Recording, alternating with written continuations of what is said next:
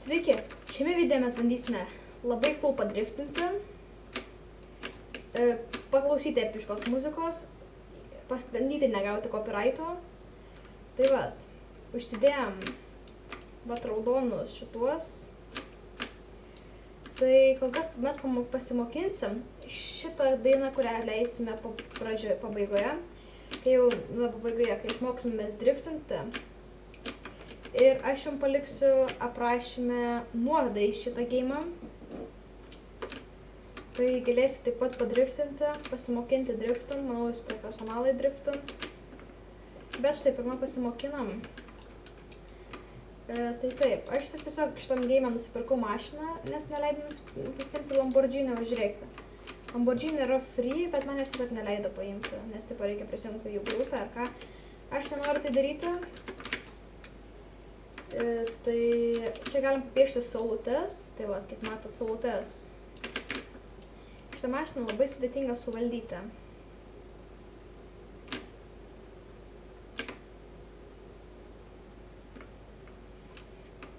Vadžiu, galim pabandyti važiuoti vieną ratą su driftu. Matot, reikia, vienintelis, ką reikia mokėti driftę, laiku paleisti. Maždaug. Matot, ne laiku paleidau ir čia neužnešiau. Čia per daug užnešiau. Tai vat. Liktais, jo, va čia žmogus piešia saulutes. Praai pravažiuosim. Bet reikia mokėti teisingai paleisti. Žiūrėk, matot, laikau, laikau, laikau, laikau, laikau ir vat nepaleidau. Tai va, tai tokia iš tų situacijų. Jisai ten su Lamborghini driftina. Lamborghini, ką žino, nevaroma gal, lai- galiniais ratais, todėl tai yra ne ta, bet mano mašina varoma gal- galiniais ratais. Nepasidomėjau, bet liktais varoma. Tai va, man reikia nuvaryti į startą. Tada, manau, pabandysim profiškai varyti, o profiškai varyti tai yra su muzika. Piešiam saulutę. Čia vat galim pasimokinti drifto. Žiūrėkit, kaip vat galim pasimokinti. Vat čia yra stulpai, aplink kuriuos galima apvarinėti. Mažiai kokias mašinas ponina.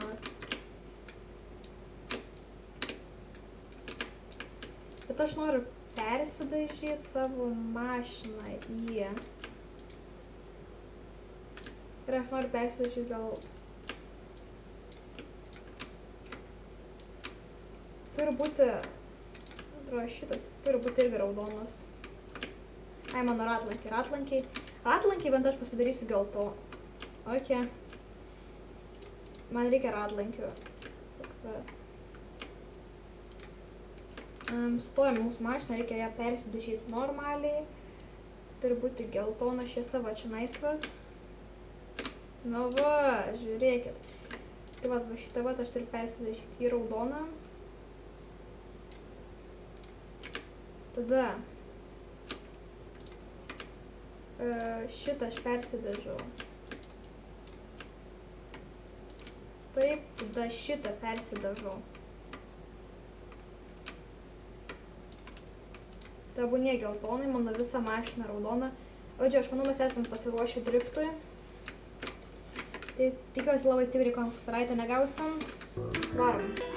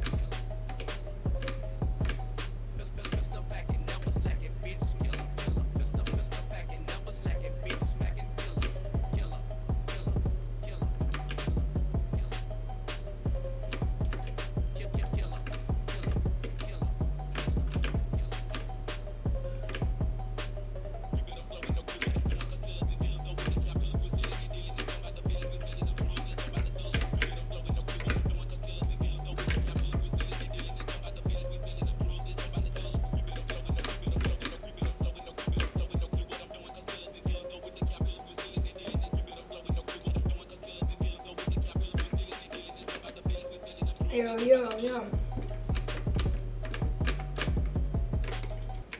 Kaip matote, kol kas mums puikiai sekasi padriftinom, bet taip neprofesionaliai. Sudaugiau 10 gabalų, už tos 10 gabalų galėtume mes čia ką nors tokio gal įdomesnio nusipirkti. Tai test drive. Važiuojam patest drive'ant. Su vežimėliu nieks nedriftina, todėl kad tai valdyti neįmanoma. Žinot? Važiuojam su vežimėliu. Kas čia per nesąmonė? Aš net tokio pirk nenorėčiau. Žiūrim, kas čia. Reikia patest drive'ant. Čia jau gal biški turėtų būti neblogas vežimėlis. Aš vis tiek valdyti nemoku, po net neleidžia valdyti. Todėl gal imam pačią geriausią mašiną, kokia čia yra. Ir su ją teks padraivint. Tokia iš tos neleidžia.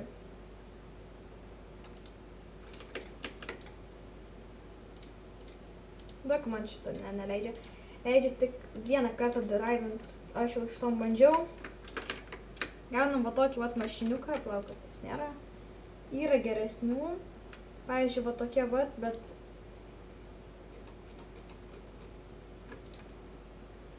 Tai va, žodžiu, bandom pirmą drivint, nors ne, su šitokio tikrai mašiniuku nenoriu drivint. Uh, varam su šito padrivint. O Čia jau suprantu. Gerai, pasleidžiam, kaip mat galit. Palaukit. Imam normalią mašiną.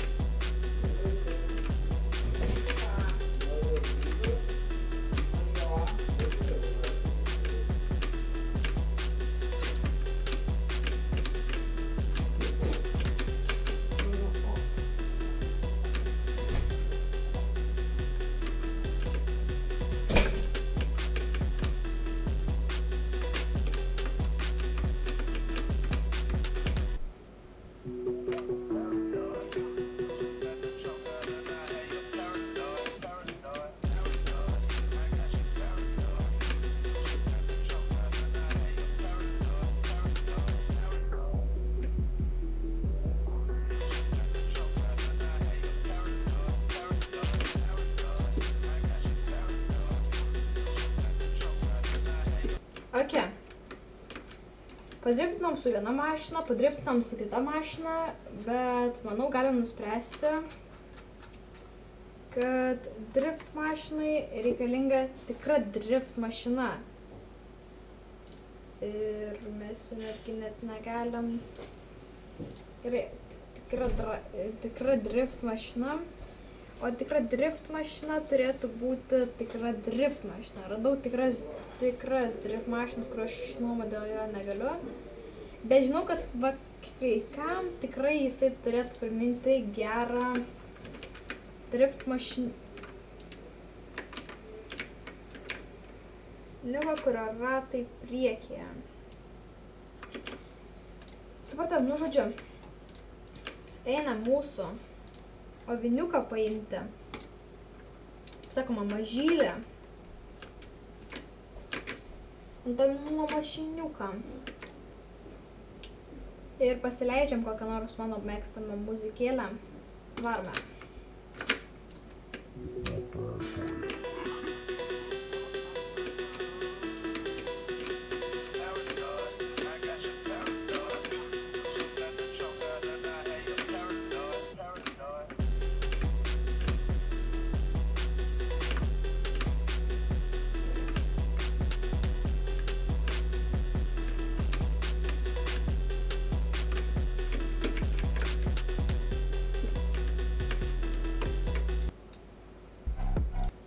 Žmonės biški čia feilas buvo, tai davai šitą mes skaitom.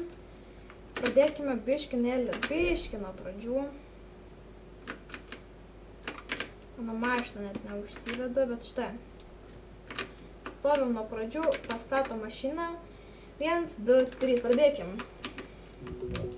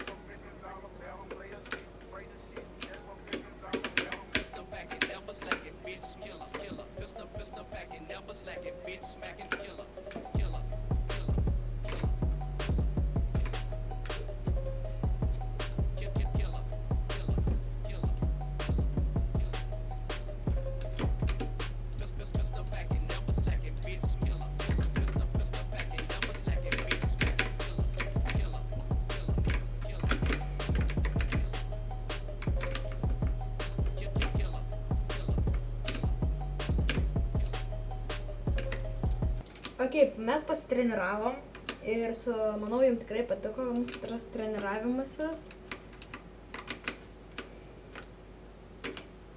Žiūrėkit, matot, kai išeina čiuvakas, eina. Čia, jie čia bandys driftint, ir pas prenumeruosi mano kanalą, aš joinu jų tą dalykėlę, pasižiūrėsim, kaip mums seksis e, driftint su tikrais profesionalais.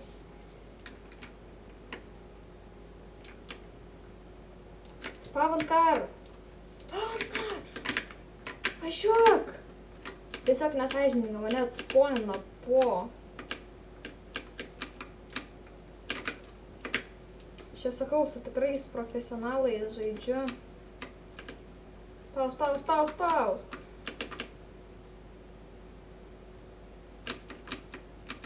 Tu palauk. Aš čia... Aš čia trečias iš trijų, ar čia trečias iš trijų ratų?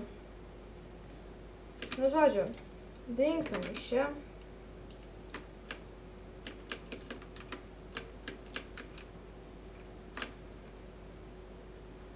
Mus sumetė su tikrais profais. Aš išėjau, bet aš vis dar driftinu, bičiakai. Tai žodžiu, kam patiko va šitas video, tikrai būtinai paspauskite tą mygtuką like, bei prenumeruoti jums pat. O, žiūrėkit, švieselės gal įjunkiam. Nežinot, man reikėtų jau kažkaip mūsų mašiną perdažyti į visiškai kitokią spalvą, visiškai padaryti geltoną mašiną. Tada padaryti gal tokį irgi geltoną, puikiai tiks, tada šitą reikėtų maždaug gal Vadžiu, padaryti žiauriai tamsų.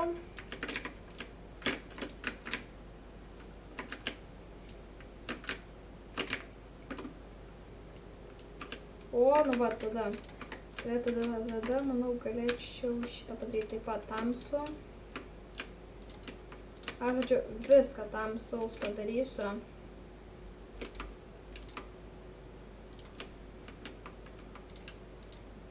Na vat. Mes turime super mega duper, čia dar yra muzika. Ką radio, ką man ką radio, man reikia...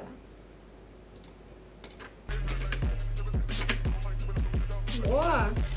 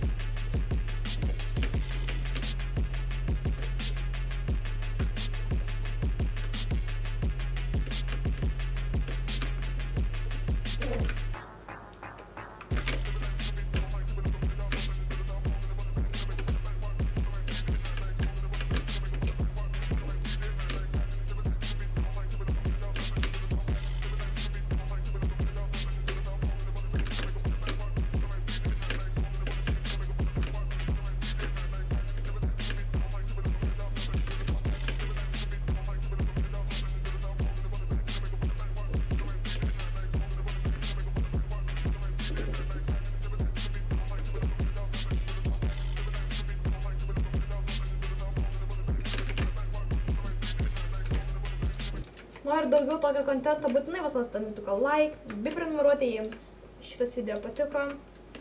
O aš su jumis tikrai atsisveikinu, bet iki kito video. Jei norite antros dalies būtent va šito vat, surenkam ant šitą video 5 laikus. Ir aš padarysiu šitą video dar geresnį, dar tobulesnį ir išmoksiu dar daugiau drifto. Arba norite pasakyti, kad drifto failu, būtinai koment, savo nuomonę komentarų skilti ir parašykite, ką man video padaryti. Arba to dar parašykite komentaruose Q&A klausimus, nes greituoju atveju darysiu Q&A video. Galbūt. Tai ačiū, kad žiūrėtumėte, viso gero.